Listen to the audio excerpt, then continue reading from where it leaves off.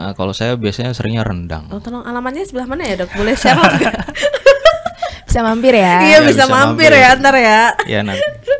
Kalau Dokter Joan juga sama? Sama. Ada masak-masak gitu nggak? sama biasanya eh, ibuku sendiri orangnya yang masak banget jadi kayak untuk tamu sedia biasanya ketupat opor semur Oh, oke. semua sedia yang minyak-minyak yang Oh, iya. santan-santan Nah, itu nih, saya mau bahas ke situ. Mm, mm, mm. Yang minyak-minyak yang santan-santan tapi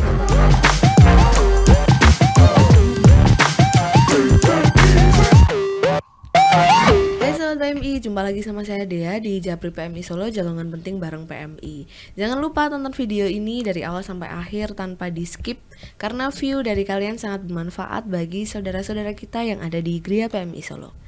Nah kali ini saya kedatangan temen ngobrol yang kompak banget ya Kompak tuh dalam artinya saling melengkapi Karena ada cowok ada cewek juga Dari teman-teman FKWNS ada dokter Joan ada dokter Rehan Hai Halo. Oke, kameranya sebelah sini ya dok. Nanti kalau nggak kuat lambaikan tangan aja. Tapi semoga kuat sih. Hari ini puasa? Alhamdulillah. Alhamdulillah puasa ya. saya nggak lagi Oh baru, oh, halangan baru mau tanya udah bolong berapa ternyata baru bolong ya. Oke, masih semangat puasa ya. Semangat, Pak. Masih semangat puasa. Nah, kita ini bakal ngobrol seputar mudik sekaligus. Biasanya kalau Lebaran itu kan identik dengan makanan yang bersantan nih. Iya, nah, betul. karena kehadiran dokter, jadi saya mau minta tips nih, gimana caranya supaya sahabat PMI di rumah sana bisa tetap eh, menyantap opor dan yang sebagainya, tapi dalam batas normal dan aman kayak Hmm. gitu. Nah, tapi sebelum masuk ke situ, saya mau tanya nih, ini semua asli Solo berdua? Eh, kebetulan kita dari Jabodetabek semua. Oh, Jabodetabek. Iya, oh, betul. Oke. Saya sendiri dari Tangerang Selatan. Oh, anak Tangerang Selatan. kalau ya. saya dari Depok Oh, dari Depok. Oke. Macet nggak sih? Tangerang. Macet. Macet ya? Hari-harinya macet. Eh, macet apalagi Ciputat ya. Oh. Depok juga. Malah kalau lebaran tuh lebih kosong biasanya Mbak. Oh, lebih kosong. Karena mungkin pada ke Jawa kali ya. Lebaran kosong, Oh, kalau enak lebaran malah buat kosong. jalan-jalan. Oh, oh gitu. Iya. Ntar lebaran pulang ke sana nggak? Kalau saya sih enggak. Enggak, Saya kenapa? ke Pekalongan ke rumah Mbah. Oh, Pekalongan rumah Mbak. Kalau dokter Joan? kalau saya kebetulan emang eh, tidak punya kampung halaman Oh, iya? jadi kita kembali ke rumah sendiri gitu. Oh, ke rumah malah sendiri. biasanya disamper sama keluarga yang lain Berarti juga ke Depok. ke Depok Oh, ke Depok. Ketemu Ayu Ting Ting dong. Eh, kebetulan mungkin lagi sibuk Oh, mencari iya. alamat ya kan. Mungkin mencari kampung halaman tadi loh dia lupa halaman berapa gitu kan. Oh oke seru juga ya. Tapi kalau ngobrol soal Lebaran biasanya setiap keluarga itu kan punya kebiasaan-kebiasaan tertentu. Kalau keluarga saya kan ngumpul di rumah eyang gitu kan, terus eh, sungkeman makan dan lain sebagainya. Tapi kalau dari dokter Rehan sendiri apa nih adat keluarganya kalau waktu Lebaran? Ada kalau lebaran ya habis sholat id itu biasanya kumpul dulu di ruang tamu terus Oke. dari yang paling tua sampai yang paling muda itu maaf-maafan kayak sungkem, Sungkem gitu. biasa. Oke. Terus bagi fitrah nggak? Bagi Fitra eh, amplop. Apa, eh, iya, bagi bagi. Oh bagi. Jangan lupa sama saya dok. Kalau dokter Joan juga sama. Eh, sama karena kebetulan eh, walaupun tinggal di Depok saya masih orang orang suku Jawa gitu. Jadinya sungkem minta maaf. Kadang kalau lagi drama ya sedih-sedih. ya kayak gitu. Jadi sama lah. Oke, tapi tetap ada salam tempelnya juga. salam tempel kok semakin berusia kok semakin oh, berkurang oh, ya? iya bener sih, bener sih. Kok makin nggak dapet gitu ya, makin ke sini malah kita yang ngasih gitu kan, tapi nggak apa-apa sih. Oke, berarti nanti dokter Rehan ke Pekalongan, Iya. dokter Joan pulang ke Depok ya. Oke, luar biasa. Liburnya lama dong berarti ini. Enggak mah cuma cuma Sab- Sabtu Minggu. Jumat, Sabtu, Minggu. Oh, Iya. Senin udah mulai balik aktivitas Senin udah Senin masuk. balik Oh, lagi Oke, luar biasa. Nah, ini kan ngobrol tadi soal ada yang namanya mungkin kita beda-beda daerah, tapi kita disatukan dengan sungkeman tadi. Iya, betul. Sungkeman kan berarti ada proses salamannya nih, ya Iya. kan? Apalagi kita nih di era endemi COVID nih kan. Kemarin kan masih rame COVID nih. Sebenarnya menurut Dokter John dan Dokter Rehan nih, salaman itu gimana sih sekarang ini masih dibatasi atau udah diperbolehkan secara bebas gitu? Dokter John dulu deh. Oke, kalau sebenarnya eh, sebenarnya perlu diingatkan nih Mbak, sebenarnya COVID itu masih ada nggak sih? Kan orang Mm-mm, gitu ya iya, bertanya-tanya. Sebenarnya COVID itu masih ada Hmm. karena COVID ini sendiri kan bentuknya virus, di mana virus ini sendiri di mana-mana ada, tapi bentuknya nggak aktif kalau tidak berada di tubuh kita, karena dia akan aktif ketika ada di inang atau tubuh dari makhluk yang hidup. Oke. Intinya dia butuh tempat hidup, yaitu makhluk hidup gitu. Mhm. Eh, intinya walaupun di zaman sekarang kasusnya sudah menurun, walaupun di zaman sekarang udah jarang terdengar, oh kok kasus-kasus berat udah nggak ada, terus dari pemerintah juga sudah mulai melonggarkan, tapi alangkah baiknya kalau kita harus mengingat bahwa COVID itu ada dan tetap harus berhati-hati. Hmm, oke. Tapi eh, tidak mengurangi esensi dari sungkeman itu tadi ya. Benar. Mungkin bisa dicegah bawa hand sanitizer Bisa. oke luar biasa. Berarti tetap boleh hanya dibatasi. Betul. Jadi mungkin sungkemannya boleh, tapi sebelumnya cuci tangan dulu. Apalagi mungkin habis sholat Id atau habis eh, salam tempel dari Oh iya, tetangga benar, mungkin. benar, benar, benar. Ah, ah. Ngitung duit Ngitung ya kan. duit. Kalau ada yang dihitung ya. Nah, ya kalau ada yang dihitung ya. Nah, tapi ya kalau ngitungnya dalam angan aja nggak apa-apa sih. Hari ini dapat berapa ya gitu. tapi ada tips nggak sih dokter Rehan biar eh, sungkeman itu tetap ada dan tetap khusyuk? Sungkeman tetap ada dan tetap khusyuk. Iya. Ada dong tipsnya. Tipsnya jangan lupa eh, sekarang memang sudah lebih longgar ya, Mhm. tapi jangan lupa eh, COVID itu masih ada. Benar. Pandemi juga belum berakhir ya. Bahkan akhir-akhir ini malah justru meningkat angkanya.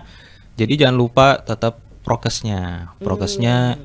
ya mungkin udah pada vaksin ya. Iya. Eh, kita husnuzon ya udah pada vaksin. Terus Khusus tapi yang udah vaksin Iya, gitu kan.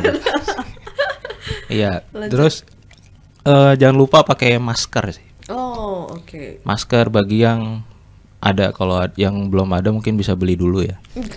Gitu. Kan dapat salam tempel nih kan. Ah, Beli sama ya. masih ya jaga jarak lah, Hmm, jaga oke, jarak gitu. oke, oke, Mungkin itu sih. Berarti tetap bisa sungkeman hanya mungkin prokesnya tetap dijaga ya. Betul. Walaupun Pak Jokowi sudah memutuskan untuk boleh lepas masker nih, tapi kalau bisa buat jaga-jaga aja lah ya pakai Iya. masker. Oke, keren keren. Jangan lupa ya, jangan kelepasan ntar waktu apa namanya lebaran ya kan mentang-mentang touch up-nya tebel gitu lipstiknya merah gitu jadi nggak pakai masker oke itu tadi eh, adalah adat sungkeman tapi kalau di rumah sering masak-masak nggak dok kalau lebaran gitu dokter Rehan dok Eh, di rumah masak sih. Kebetulan kalau ibu saya dari Sumatera ya. Hmm, rendang dong Ah Wow. betul rendang terus ada apa nama sambal goreng ati Mm-hmm, terus ada macam-macam lah ada opor kayak gitu juga ada opor Hmm, oke opor kan biasanya lebih ke Jawa ya Iya Jawa Ah, kalau saya biasanya seringnya rendang Oh tolong alamatnya sebelah mana ya dok? Boleh share nggak? Bisa mampir ya. Iya Ya, bisa, bisa mampir, mampir. ya ntar ya. ya nanti Kalau dokter Joan juga sama. Sama. Ada masak-masak gitu nggak? sama biasanya eh, ibuku sendiri orangnya yang masak banget jadi kayak Hmm. untuk tamu sedia biasanya ketupat opor semur Oh oke. semua sedia yang minyak-minyak yang Oh, iya. santan-santan Nah itu nih saya mau bahas ke situ. Mm, mm, mm. Yang minyak-minyak yang santan-santan tapi nggak apa-apa nanti juga tetap Sherlock ya. itu kan tadi dokter Joan udah nge-spill dulu nih makanannya santan-santan kayak gitu kan. Ada mungkin kalau kita bahas tadi ada sambal goreng ati berarti kan jeroan ya. Iya. nah itu makanan apa sih yang sebaiknya disajikan saat lebaran gitu biar nggak terlalu apa ya meningkatkan kolesterol? Siapa nih dokter Joan Oke, sebenarnya ya namanya budaya kita pasti ada ya opor, ya lontong. Nggak bisa kita deny gitu kalau makanan-makanan seperti itu. Emang khas Lebaran yang dicari memang itu gitu.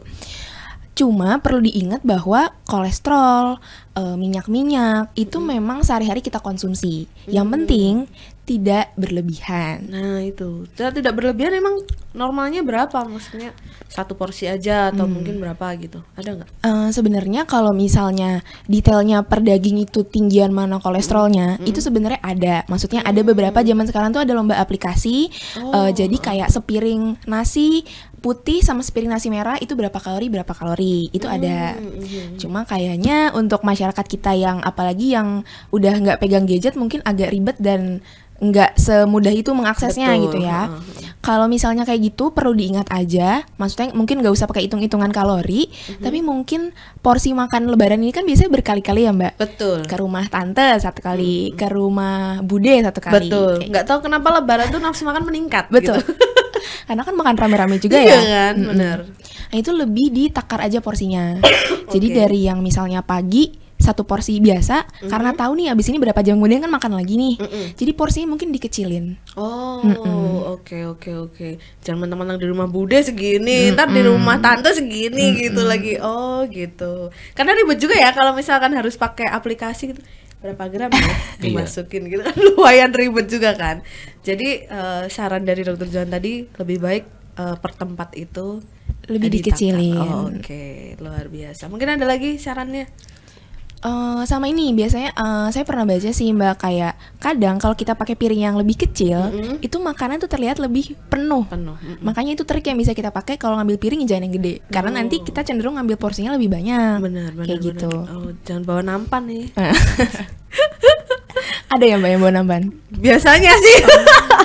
Atau plastik buat dibungkus. Nah, oh bawa rantang aja ya. Oh iya ya? benar Bu Rantang. Oke, nanti Sherlock saya bawa rantang. itu tadi kalau dokter Jan sudah menyampaikan bahwa porsinya dikecilkan. Salah satu triknya adalah itu berarti tipuan mata aja kan ya? Benar, benar. Pir piringnya dikecilin itu biar kelihatan makanannya tuh udah banyak gitu. Iya. Oh oke, luar biasa nih bisa ahli hipnotis juga.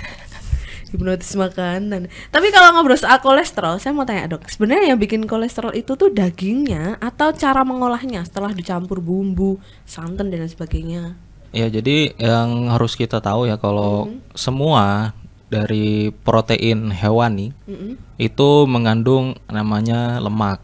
Oh. Kalau ada lemak berarti ada kolesterol. Oh gitu. Iya. Oke. Terus selain itu eh, untuk makanan olahannya santan-santan juga eh, kayak rendang, terus opor, terus eh, apa namanya sambal goreng ati, itu kan semua juga penuh dengan eh, lemak, ya. Betul. Itu juga tinggi dengan kolesterol Oh. gitu. Nah, jadi gimana sih untuk mensiasatinya?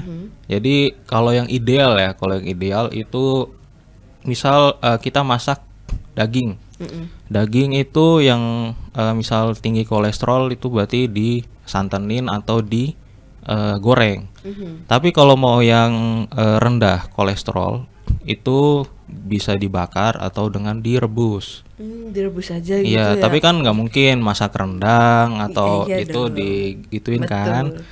Jadi ya jadi bisa diakalin dengan cara eh, masaknya itu diganti olahannya. Misal santan. Santan itu bisa dimasak dengan susu yang rendah lemak seperti Oh. skim. Skim. Itu kan lemaknya mungkin 0,1 ya. Mhm, mhm. Mungkin memang rasanya berbeda, Ya, ya kan? kurang gurih Iya, gitu ya. betul. Tapi ya kalau dari ahli gizi itu disarannya kayak gitu. Mungkin Mm. kalau dari rendang itu eh, dagingnya aja. Mm-hmm. Jadi makan daging misal satu aja, terus eh, rendang-rendangnya itu bumbu-bumbunya itu dikit aja. Oh, oke. Iya. oke. Resep baru nih. Jangan-jangan lulusan Master Chef, Dok. Sebelum kuliah dokter ikut Master Chef gak? Nah, kebetulan suka nontonnya aja. Oh, suka nontonnya aja. Masaknya belum bisa. Masaknya belum bisa, tapi keren loh. Berarti santannya bisa dialihkan pakai susu rendah lemak ya. Iya.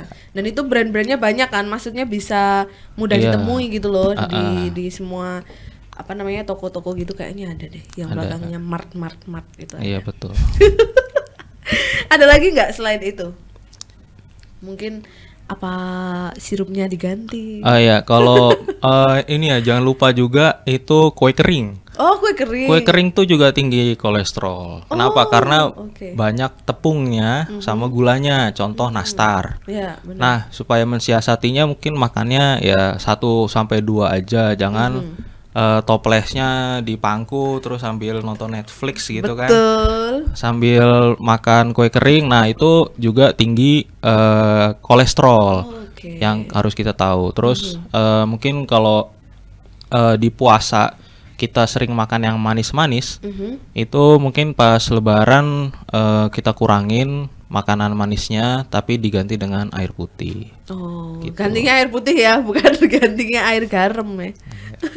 Takutnya kan udah manis, terus habis itu lebarannya ganti yang asin gitu. Malah darah tinggi. Malah darah tinggi Iya. betul. Oke, karena kadang kalau makan kue kering itu kan nggak terasa, karena dia kecil gitu kan. Iya, benar. Langsung cemal cemil cemil aja gitu Iya. kan. Tahu-tahu apa timbangannya geser ke kanan. Iya. Jarumnya. Betul Yang kan? puasa udah turun 2 kilo, lebaran naik 3 kilo. Nah, itu. Surplus ya. Kan bener lebaran, lebar. Iya, lebaran ya, bukan lebaran. Oh. Oke luar biasa. Tapi ada nggak sih dok tanda-tanda kalau kita tuh wah kayaknya kolesterolnya tinggi nih atau gula darahnya tinggi gitu ada nggak tanda-tandanya? Oke, kalau misalnya sih ya. Mm-mm, lebih ke gejala ya. Kalau misalnya untuk bisa eh, didiagnosa nih sakit gula, sakit kolesterol tentunya harus pemeriksaan. Cuma kalau untuk masyarakat awam, apa sih yang bisa dirasakan eh, begitu eh, tanda-tanda kayaknya kolesterolnya naik nih, kayaknya gulanya lagi tinggi nih gitu ya. Eh, yang pertama gula dulu kali ya mbak. Sebenarnya boleh. gula ini paling khas tapi bisa juga orang nggak sadar. Hmm. Oke, yang pertama banyak makan. Oh. Kok akhir-akhir ini aku makan mulu ya kayak gitu. Mhm. Terus banyak minum. Mhm. Kok akhir-akhir aku aus mulu ya kayak gitu. Kayaknya puasa deh aku. Kok jam 12 aus mulu ya? Eh, terus yang terakhir kok malam-malam nih biasanya aku kebangun banyak pipis Oh, oke. kayak gitu. Dari tiga gejala ini disertai juga eh, sama biasanya berat badannya tiba-tiba melonjak. Naik. naik, tapi nggak lagi lebaran. Oh, oke. Misalnya lagi ya lagi banyak makan aja, lagi banyak minum, lagi banyak pipis. Eh kok pas berat badannya juga naik kayak gitu mbak. Itu tanda-tanda dari sakit gula. Atau misalnya sakit gulanya ini eh, darahnya, eh maksudnya gulanya udah tinggi yang tanpa disadari, itu bisa menyebabkan komplikasi-komplikasi lain. Hmm, Misalnya, kok aku akhir-akhir ini agak gatel-gatel ya? Hmm. Kok kulit aku akhir-akhir ini lebih sering kebas ya? Oh, kebas. kebas, Oke. lebih sering kesemutan ya. Atau kok misalnya tiba-tiba eh, aku nggak pakai sendal kok luka ya kakinya, Hmm. tapi nggak ngerasa nginjek apa-apa tuh, kayak gitu. Itu tanda-tanda komplikasi karena sakit gula itu bisa menyebabkan gangguan di sistem sarafnya Oh, dan eh, oke. pembuluh darahnya. Jadi nyebabin eh, istilahnya gejala-gejala lain yang merupakan komplikasi. Komunikasi. Benar. Oke. Oh, gitu. Jadi kalau misalkan sahabat PMI di rumah banyak makan tiba-tiba Mm-mm. perlu aware ya. Perlu, Oh, oke. perlu banget. Bukan perbaikan gizi ya. Kesempatan ya, Mbak ya. Kesempatan perbaikan gizi, tapi itu emang harus tetap dikontrol ya gula Benar. darahnya ya. Itu kalau dari gula darah. Ada Benar. tambahan lagi nggak dari gula darah? Gula darah udah. Biasanya gula darah itu paling kerasa si makan dan pipis biasanya. Hmm, Karena mengganggu nggak sih mbak kayak lagi tidur, kok kebangun terus pipis terus dan hampir tiap malam gitu. Hmm. Nanti malah nggak bisa tidur lagi, kadang kan gitu kan. Benar. Akhirnya istirahatnya kurang. Waduh. Akhirnya besok mata panda karena kurang tidur. itu gula darah. Kalau kolesterolnya ada nggak? Gejala yang Kalau spesifik gitu. Kolesterol sendiri biasanya tidak begitu menimbulkan gejala sesignifikan gula ya mbak. Hmm. Kecuali kalau memang kolesterolnya ini udah tinggi, terus biasanya kolesterol temennya apa mbak? Apa sih trigliserid? Bukan. Darah tinggi. Oh, darah tinggi. Oh, oh, dia bestian. Besti. Oh, oke. Besti banget. Nah, biasanya kalau udah darah tinggi, terus udah kolesterol, biasanya lehernya cengang di belakang. Oh. biasanya oke. orang-orang aduh habis makan kambing kok lehernya mulai nggak enak ya kayak gitu. Itu biasanya darah tinggi campur kolesterol. Hmm. Atau darah tinggi dan kolesterol ini Mbak, parahnya lagi bisa menyebabkan penyumbatan di pembuluh darahnya. Waduh. Ini serem, Aduh. serem. Saya makan kambing nggak ya di sini? Agak mikir ya, mikir Agak mikir nih, mulai mikir nih. Oh gitu. Tapi selain itu ada lagi nggak? Kayak mungkin keliengan atau badannya rasanya berat gitu. Hmm, kalau misalnya dicampur darah tingginya ya mbak, biasanya lebih ke pusing sama cengang lehernya.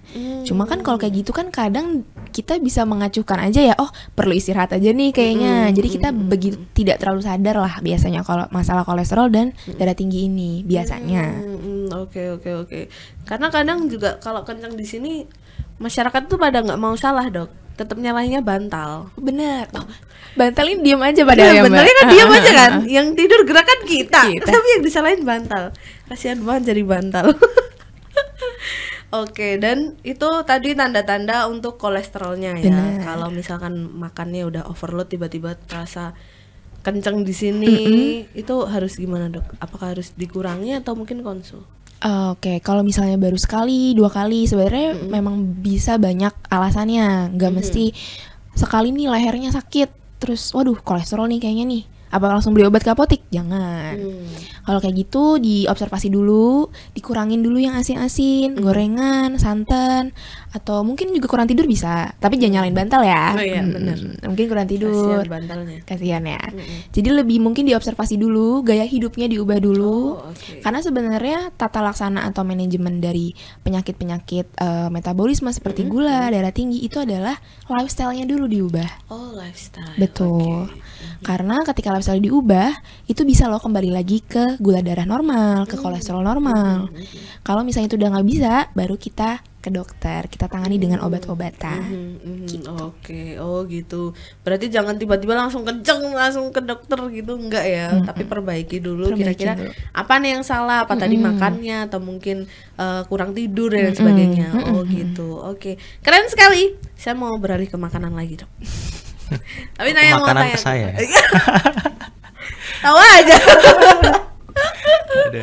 Ini kan kalau misalkan kita tuh lebaran tuh sering khilaf ya. Tadi kayak Dokter Johan menyampaikan, ntar di rumah Pak D makan, ntar di rumah tante, di rumah Eyang kayak gitu makan makan makan makan terus gitu kan. Nah gimana sih dok cara atur pola makannya nih biar nggak overload menjelang atau mungkin saat lebaran atau mungkin setelah lebaran. Biar nggak Oke. kena kolesterol gitu. Ya, ya, jadi untuk mengatur pola makan ya. Mhm. Jadi kan yang kita tahu kalau puasa itu kan kita cuma makan sehari dua kali ya. Dua kali. Mungkin ada yang tiga kali empat kali, tapi kan Siapa tuh? Nah, mungkin ada sobat PMI yang mendengarkan. Nah, tapi kan biasanya rata-rata dua kali ya. Mm-mm. Nah, eh, terus tiba-tiba kita balas dendam di Lebaran. Bener. Jadi misal eh, di silaturahim lima kali, makannya juga lima kali. Waduh. Saya dulu gitu soalnya. Oh. Oh ini berarti Iya. eh, belajar dari Pengalaman. ya Belajar dok dari ya. pengalaman, Iya, karena pengalaman itu betul. guru terbaik, bener. Iya, betul. Wajib sharing dok. Lanjut.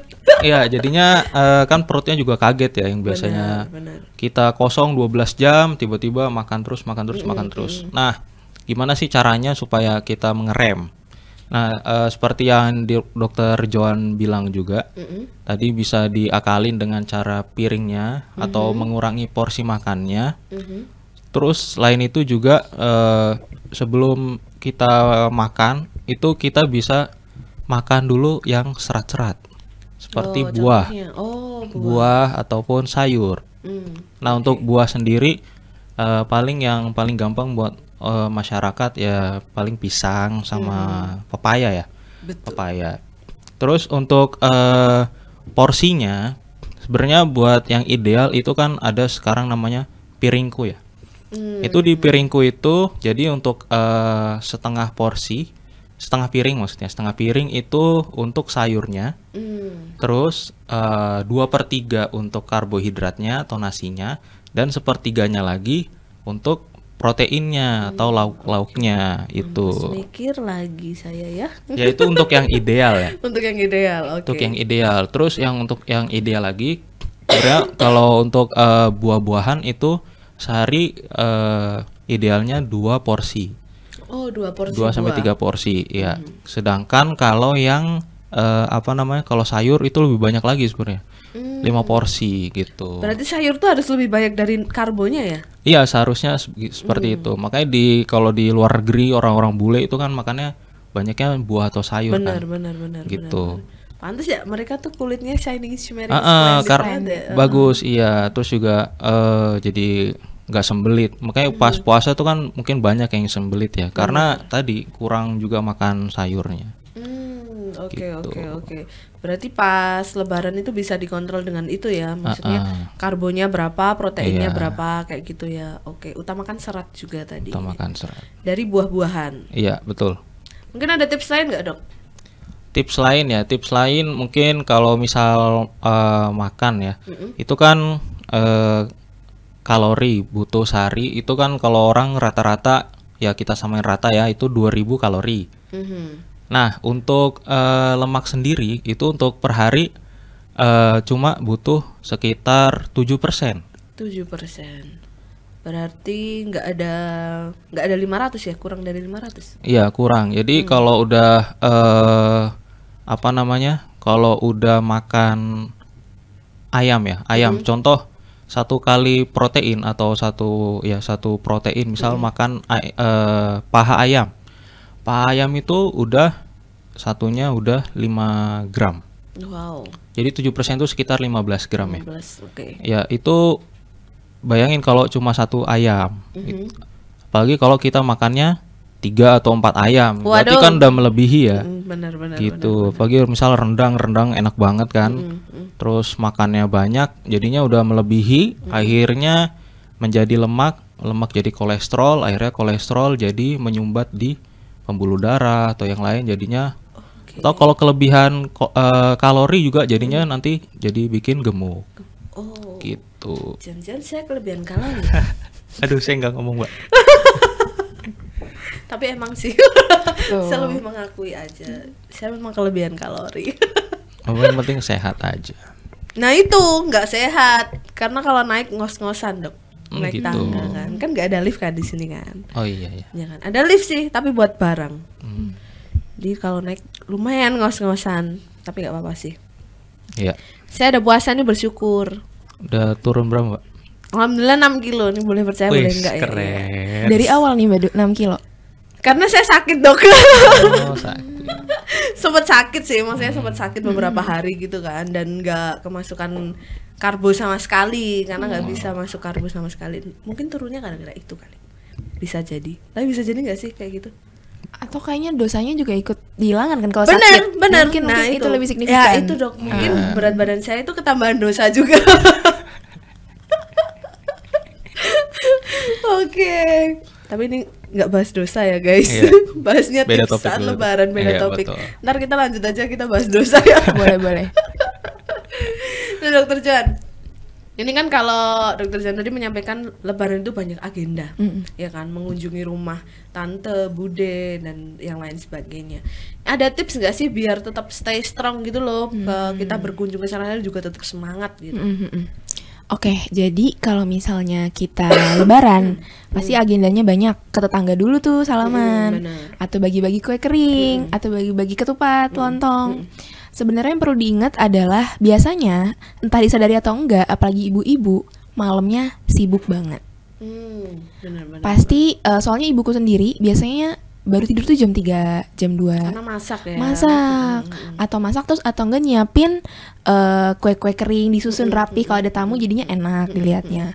Nah yang kayak gitu-gitu mesti diperhatikan. Jam tidur sebelumnya, jam tidur sebelum hari hal lebaran itu harus cukup minimal 8 jam. Hmm, oke oke. Istilahnya biar nggak tepar besoknya gitu. Hmm, Jangan malah begadang ya. Jangan malah Oke. begadang. Mm-mm. Nah, terus besoknya karena udah tahu agendanya full, Mm-mm. biasanya habis sholat id langsung kita sarapan Hmm. gitu kita sarapan. Tadi dengan porsi yang udah dibilang sama dokter Rehan udah diatur sedemikian rupa jangan lupa sarapan.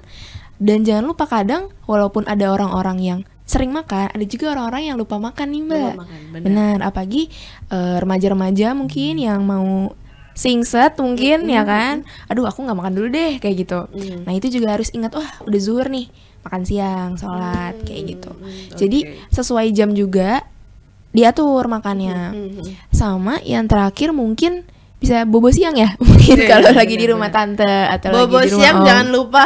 jangan lupa Mumpung bisa bobo siang Mumpung ya kan. bisa karena ketika dewasa kesempatan bobo siang udah mulai hilang Iya, itu adalah salah satu momen yang akan Anda rindukan. waktu Betul, waktu betul. kecil Betul kan? kita kesel ya waktu kecil kesel kalau disuruh Oh, bener kan.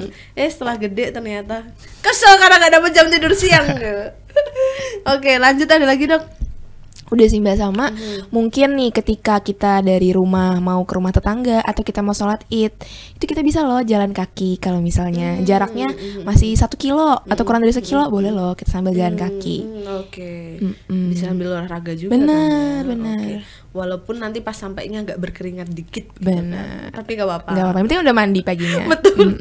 Jadi nggak merugikan orang-orang sekitar gitu ya, benar Mbak. benar tidak merugikan orang-orang sekitar itu ada lagi Udah cukup, cukup mungkin. ya Ya mungkin ini Mbak nambah ada vitamin jangan lupa. oh iya benar benar multivitamin sama eh, banyak minum air putih supaya nggak dehidrasi. Hmm, Benar. Apalagi kan sekarang lagi panas ya. iya benar benar Mungkin eh, Depok panas ya mungkin ya. Depok panas dok Bukan mungkin lagi ya? Oh, mungkin emang sangat Emang ya Iya, kayaknya jadi- lapis atmosfernya beda gitu loh. Ah, ah, Depok, Bekasi gitu kan. Depok Bekasi Ah, oke luar biasa berarti kan ini kan karena udah nggak puasa berarti kan nenteng uh, air boleh tuh kan Boleh. kita Boleh, boleh. ya udah gitu jalan sekilo dua kilo bawa air Kayak musafir ya. Iya. Bener-bener naik onta ntar. Oke, itu tadi tips biar nggak tepar Mm-mm. Saat menjelang Lebaran dan juga saat Lebaran. Tapi ini dok, saya kan tadi sudah spill nih kalau berat badan saya turun 6 kilo. Wah, saya mau sombong dulu, saya Siap. mau jumawa dulu. Boleh, boleh. Gimana sih cara tipsnya biar berat badan dan kesehatan kita tuh tetap terjaga di saat Lebaran?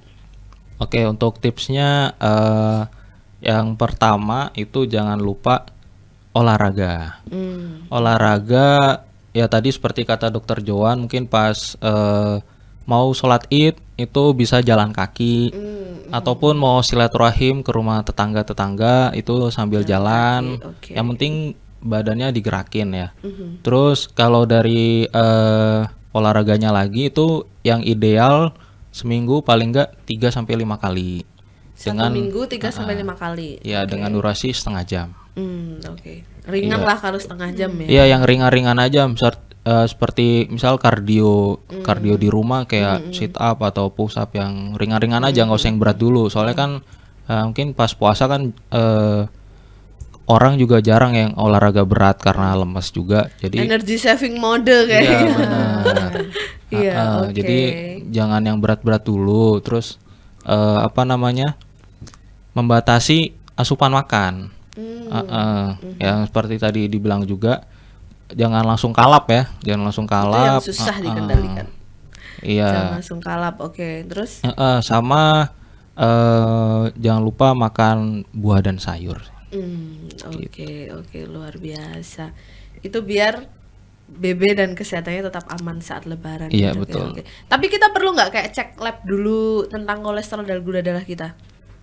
Eh, untuk eh, cek lab kolesterol dan gula darah ya. Mm-mm. Eh, perlu sih. Perlu, Tapi ya. mungkin kalau ribet ya nantilah. Oh nanti lah. Hmm. Oke.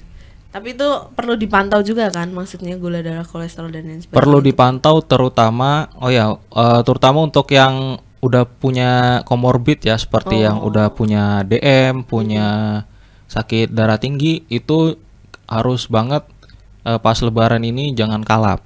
Hmm, Ya jangan kalap. Wajib istighfar ya. Iya.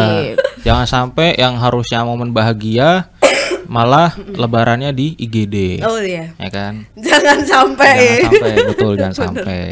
Oh oke eh, oke. terus untuk oke. yang punya penyakit tadi, Mhm. selain menjaga makannya, itu juga jangan lupa obatnya diminum, Hmm. gitu ya kan, Seper- eh, supaya tadi eh, Lebaran lancar jaya aman. Lancar jaya aman. Tetap bisa silaturahim ke mana-mana Iya, ya. Oke. Tetap bisa nyobain rendang ke tempatnya Dokter Rehan atau nyobain opor ke tempatnya Dokter Joan. Iya. Oke luar biasa dok. Ini kapan-kapan kita sambung lagi ya kalau ada waktu podcastnya karena seru banget dan saya mengucapkan selamat hari raya Idul Fitri ya dok ya. Ya. Selamat mudik. Semoga sampai dengan selamat bisa kembali aktivitas ke sini lagi juga dengan selamat. Ya, Amin. Amin. amin. Jangan lupa nanti saya share lo alamat saya Kirim rendang sama kirim opornya Mau di rantang atau di piring kecil? Ah, Rantang aja deh Rantang Keluarga aja. saya banyak soalnya Asal dibagi ya, Mbak. Iya. Eh, Oke, siap. Oke keren banget luar biasa. Terima kasih dokter Johan, dokter. Rehan Dan sahabat Memi semuanya. Jangan lupa jaga kesehatan Karena lebaran itu kalau bisa jangan KO Tetap jaga kesehatan lewat tips-tips yang sudah dibagi sama dokter-dokter muda tadi.